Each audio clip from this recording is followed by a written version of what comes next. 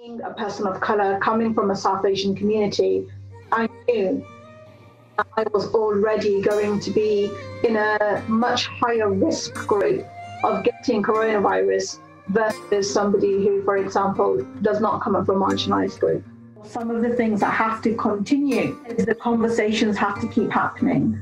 The next thing that really I believe needs to happen is our education needs to be challenged. One kind of perception of my life is not overpowered by another part. To ensure that they can move succinctly going forward.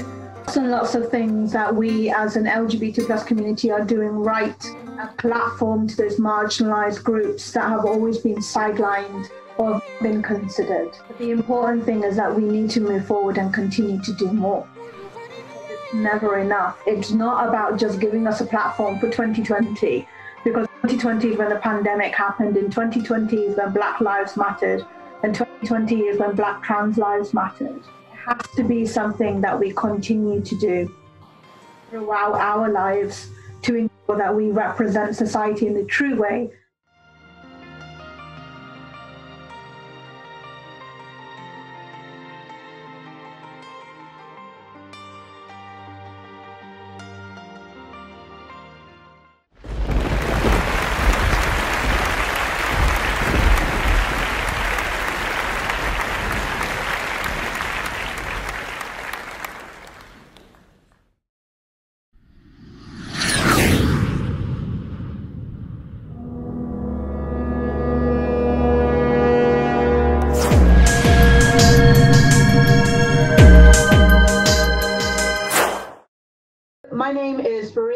My pronouns are she and her. I'm a trustee and a volunteer coordinator for Hidayah. Hidayah are a LGBT plus Muslim charity who are nationally based and we help support LGBT plus Muslims who want to reconcile between their faith and their sexuality. I'm based in Cardiff. Initially, when the pandemic first started, I didn't feel safe at all. I didn't leave my house for about nine weeks, not for the daily exercises. I very much kept to myself.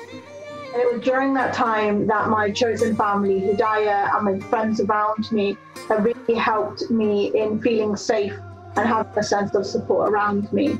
So without them, I definitely wouldn't have been able to make it throughout that time without having a severe impact on my mental health. My main reason for not leaving the house was purely out of the um, the worry of of, of catching um, coronavirus, the uncertainty that the government and everybody had, nobody really knew what was happening. And also, being a person of color, coming from a South Asian community, I knew I was already going to be in a much higher risk group of getting coronavirus versus somebody who, for example, does not come from a marginalized group collaboration from LGBT plus communities right from the off has been very enlightening. To see that organizations like Stonewall and Consortium were getting together, were holding forums online for organizations to talk about what their, uh, for example, events were that they were running, what the issues that they were having, when I was growing up, having a queer Indian, like a Bollywood movie with people like Anil Kapoor in, for example, and storylines, I could never imagine in a million years watching a Bollywood movie and it being about a lesbian couple. Um, so we've definitely moved on from where we were. I think the work that our for example, people in the past that have been in these forms of groups have has been really to lay the foundations of where today's activists walk upon. But one of the things, or some of the things that have to continue, is the conversations have to keep happening. The next thing that really I believe needs to happen is our education needs to be challenged more and more children are coming out at an earlier time, are identifying as being gender fluid, and are opening themselves up to be part of the rainbow family at an earlier age. There definitely has been movements in the South Asian community. Still a lot to be challenged. And a lot of that comes from families not having had the opportunity to really have the questions asked to them. Above everything else, why would you favor your child pretending to be straight over happiness? Above everything else, you know, um, is that um, which some people would know to be, um, for example, about their respect in the community or their standing in the community. Does that really matter? Those are the type of questions that really need to be asked. Communities need to be tackled. That LGBT plus people are everywhere. In our own Muslim communities, in our South Asian communities, bearing in mind my sister who went to school in the UK, who has a queer sister herself, still very much cotton wooling her children. And those children are not learning anything because they'll go to school, an environment which will not be open to LGBT plus people, will not be tackling questions like colonialism, will not be questioning things like racism necessarily in a school. Then they'll be coming home living within the communities, only speaking to people within the communities, not having any other kind of, uh, for example, um, thought or any other kind of avenue presented to them that kind of allows them to open up their minds and their own communities to know that heterosexual people is not just what the communities and what the society is made up of. to me in 2020 means a sense of belonging. It means that it's a community that I feel accepted and I feel very much a part of. Pre pandemic, every pride I ever went to, I felt safe. I felt like these are my people. And I looked around and I had a sense of joy. And then when Pride was cancelled on physical terms this year and everything uh, was moved online, it was amazing to see lots of different Pride organizations rally together and still have an online presence. Me, Pride also represents that collaboration. It represents that togetherness that despite not being together in person physically, we were still able to bring it together for the LGBT plus community. The only way really to carry on is to understand that intersectionality is such a big word but it makes up so many of us. Intersectionality can look at things like it can look at my faith, it can look at my identity, it can look at my gender. Um, and to understand that all of those things are a part of me, an equal part of me. So when you are moving forward, the biggest challenge is to ensure that one kind of perception of my life is not overpowered by another part to ensure that they can move succinctly going forward. And that would only be through safe spaces.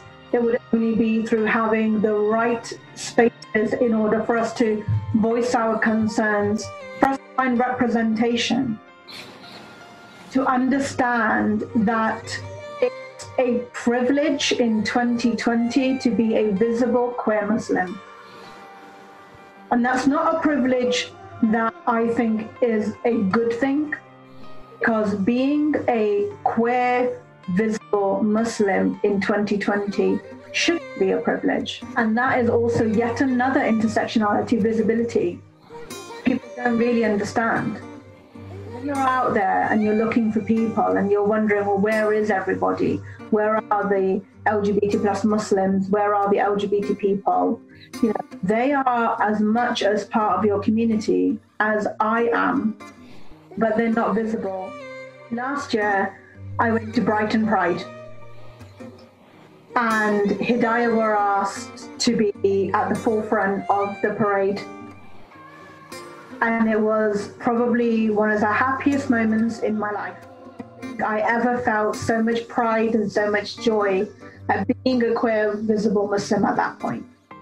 The important thing is that we need to move forward and continue to do more. It's not about just giving us a platform for 2020 2020 is when the pandemic happened. In 2020 is when Black Lives Mattered. And 2020 is when Black trans lives mattered. It has to be something that we continue to do throughout our lives to ensure that we represent society in the true way that society is. Not being out as a queer Muslim for the majority of my life. Every city that I visited and I saw the rainbow flag, really gave me a sense of pride within. That kind of secret wink that we're here and we're for you and we're with you. And I knew that I could walk into that place and I could be myself.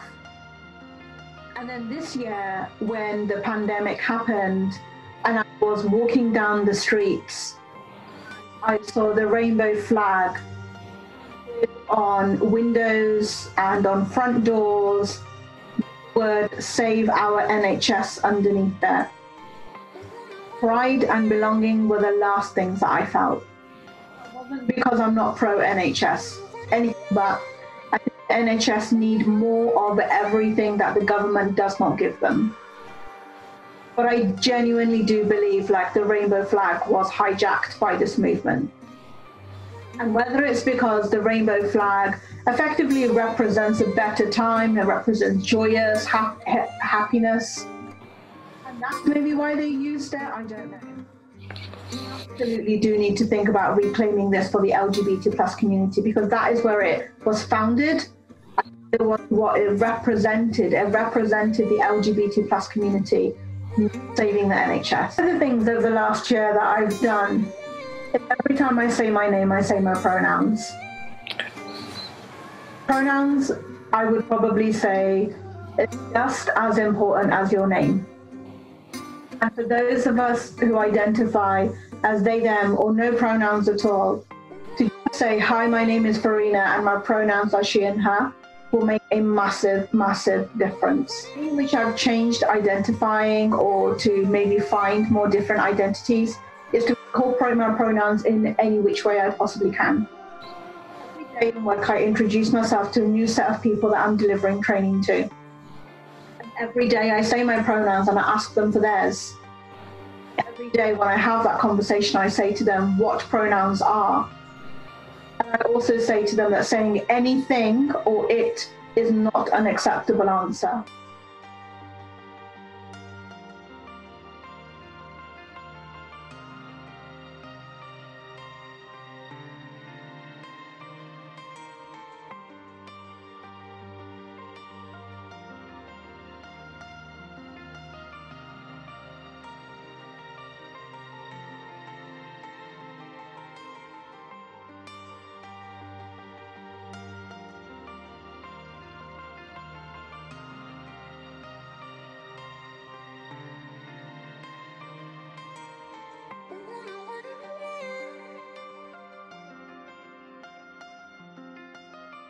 Thank you.